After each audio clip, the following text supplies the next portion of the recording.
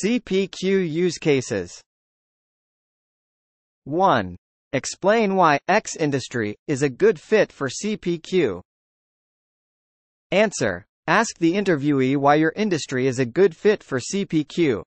This will test their understanding of what you do and how they see CPQ providing value to your organization. Example. Manufacturing Manufacturing is a good fit for CPQ because manufacturers often sell complex products that can be configured in a number of ways. This can make it hard for non-technical salespeople to create proposals and sell the products, as well as make it difficult for the team building the product if they do not know exactly what the customer ordered. Salesforce CPQ empowers non-technical salespeople to sell complex products by having guardrails in place to prevent incompatible configurations. Example. High-tech Salesforce is the best example of a high-tech company using CPQ.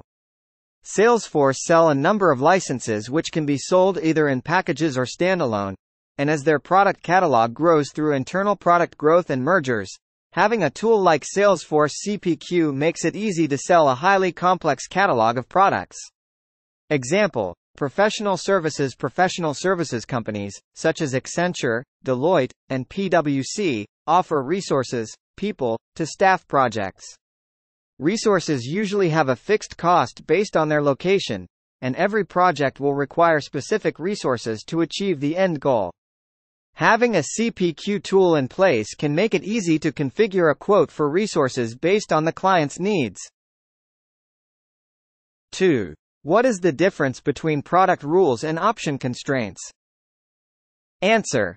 Option constraints are a simplistic version of product rules allowing users to exclude or require an option based on the selection of another option. E.g. a user selects option A so they must also select option B. Product rules are far more sophisticated and have four types of rules. Validation, alert, selection, and filter. The selection type will provide the same functionality as option constraints but with more features. 3. Give a use case for lookup data? Answer. Lookup data can be used with both product and price rules and is used in place of error conditions to drive actions in the system. Lookup data is effectively a static matrix table located in an object that is used as a reference. For example, let's say you want to apply an automatic discount based on information on the account record. Let's say you have a partner discounting program in place. Partners are given a general rating based on their size and resource skill set, but number of delivered projects are also tracked and influence their discount.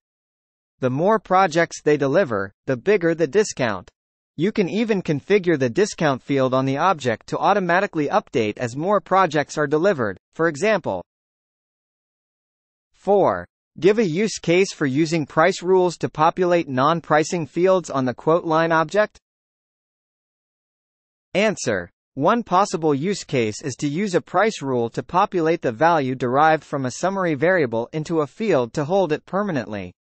Summary variable values are derived dynamically and are not stored by default anywhere in Salesforce. If you need to store the value, create a price action to populate the value from the variable in a field on the quote object. 5. How can you simplify the look and feel of a customer's product catalog using CPQ? Answer.